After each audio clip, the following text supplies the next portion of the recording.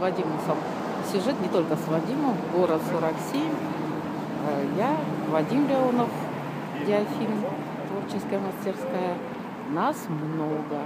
Снимаем сюжет про автостанцию в Кировске. Сейчас я вам покажу. Ой. Вот. Компания большая. Это будет интересно.